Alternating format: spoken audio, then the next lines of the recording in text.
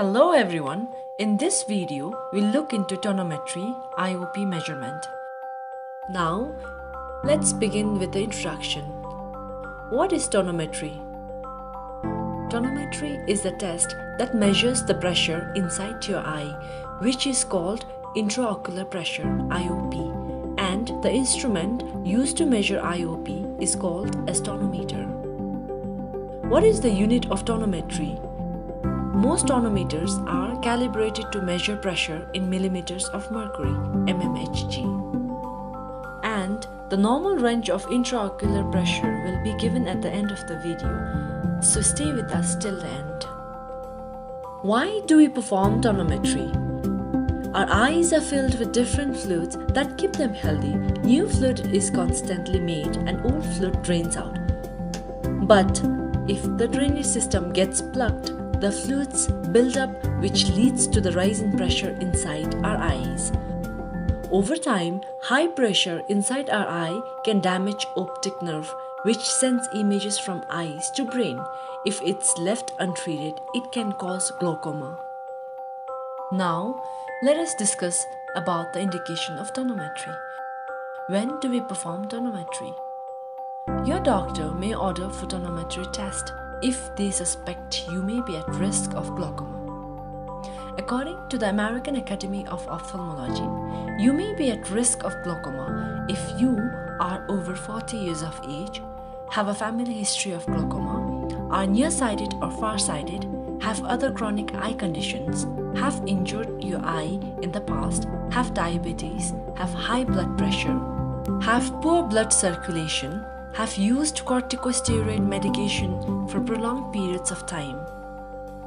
Your doctor might also test your intraocular pressure if you are experiencing symptoms such as gradual loss of peripheral vision, severe eye pain, blurred vision, halos around lights, and reddening of your eyes.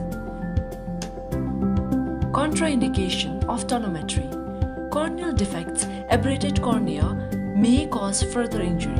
Patient with recurrent corneal erosion, patient with active infection, patients who cannot maintain a relaxed position and suspected penetrating injury. Normal range of intraocular pressure. As I have already mentioned in the beginning of this video, according to the American Academy of Ophthalmology, the normal eye pressure is usually considered to be between 10 to 22 mmHg.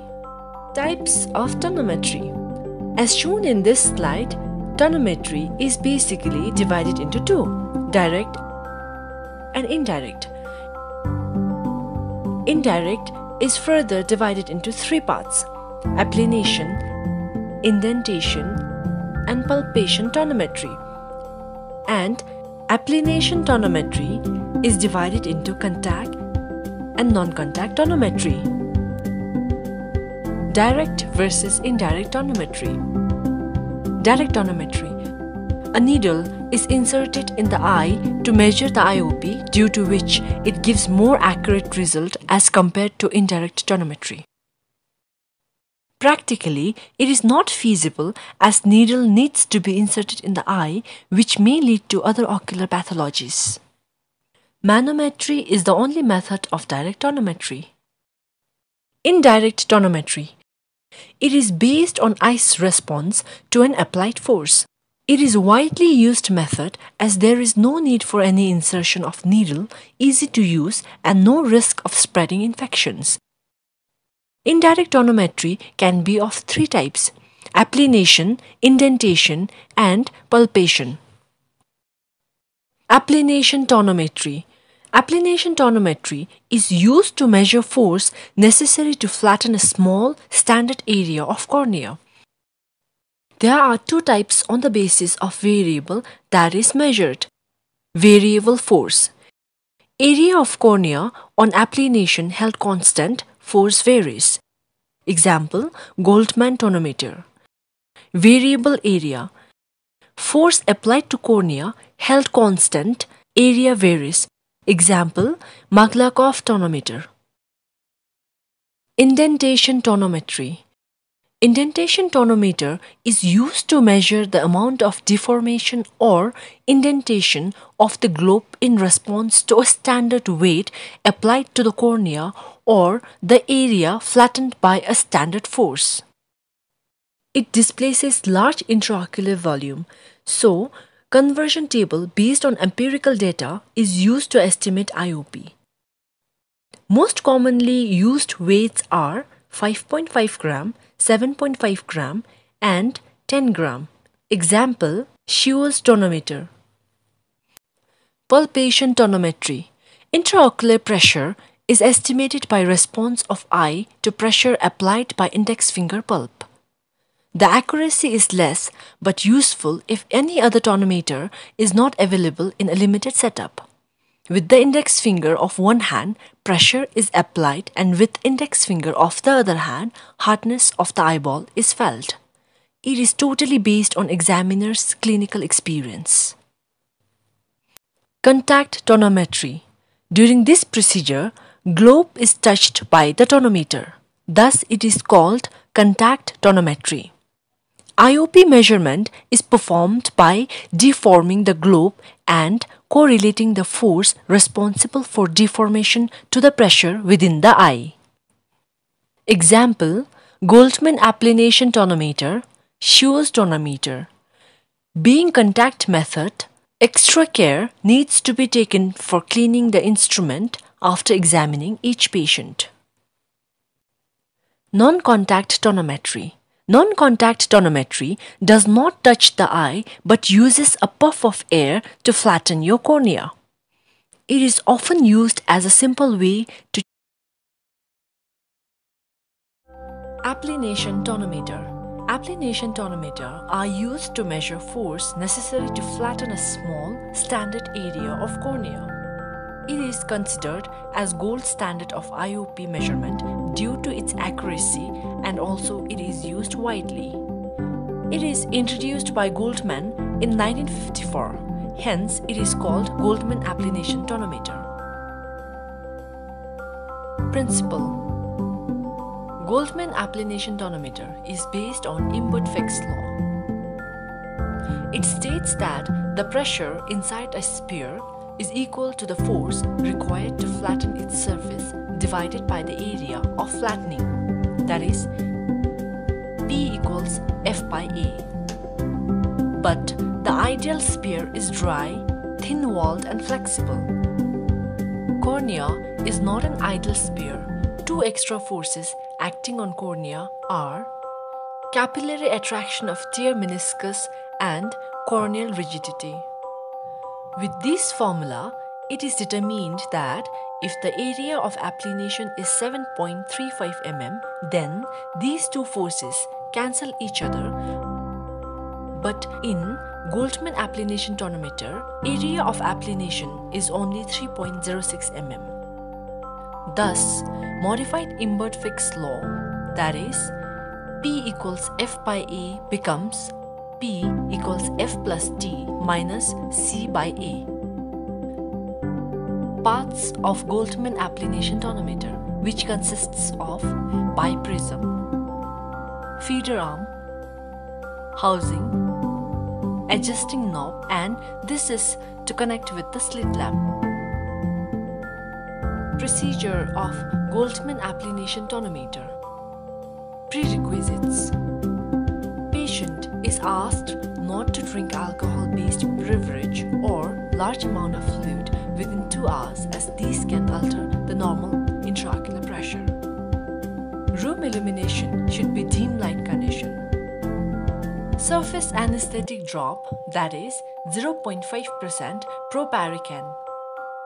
Fluorescent strip, cleaned GAT tip, tension knob at 1 and not at 0 slit lamp setup, cobalt blue illumination, and angle between illumination and microscope approximately 60 degree. Instill the local anesthesia drop and fluorescent. Patient is made to sit in front of the slit lamp and the cornea and biprism are illuminated with cobalt blue light from slit lamp. ask the patient to look straight ahead, open both eyes wide and keep perfectly still. Move the tonometer forward until the two fluorescent semicircles in prism head are seen. The correct endpoint is when inner edge of the two fluorescent semicircles images just touch. Reading obtained in grams is multiplied by 10 to give IOP in millimeter of mercury. At least 3 readings should be taken and its variation should not be more than 1 mmHg. Interpretation Gap between the outer edge of both mires because the pressure applied by GAT is less than the eye and its correction is to increase GAT pressure by moving the knob clockwise. Gap between inner border of both mires if the pressure applied by GAT is more than the eye and it is corrected by decreasing GAT pressure by moving the knob anticlockwise. Fluorescent rings are too wide that is because the measuring elements were not dried after cleaning or eyelids come into contact with the measuring elements. The correction is to withdraw the slit lamp and dry the measuring elements with the cotton swab. Fluorescent rings are too thin. That is because the tear fluid is dried during the longer measuring time period. Its correction is to let the patient blink once or twice, then repeat the measuring procedure. Different size of mires displaced up or down is because the position of slit lamp is higher or lower than the patient's eye. And its correction is to level the slit lamp until both fluorescent strips are of equal size. Source of error falsely low IOP when the fluorescence is too little, thin cornea, corneal edema, and 4 diopter off with the rule astigmatism will lead to decrease in IOP of 1 mm Hg. Falsely high IOP when there is too much fluorescence, thick cornea, steep cornea, and 4 diopter off against the rule astigmatism will lead to increase in IOP of 1 mmHg. 3 diopter increase in corneal curvature leads to increase in 1 mmHg of IOP. GAT gives accurate readings when central corneal thickness is around 550 micron. We need to add 0.7 mmHg for each 10 micron increased central corneal thickness and vice versa. Thank you and stay tuned with Smart Optometry for more videos.